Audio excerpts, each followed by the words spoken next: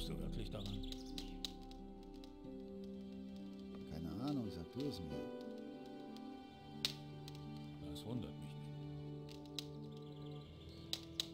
nicht. Immer wieder das Gleiche. Das ist wirklich nicht mein Problem. War doch seine Entscheidung. Das habe ich noch gar nicht gewusst.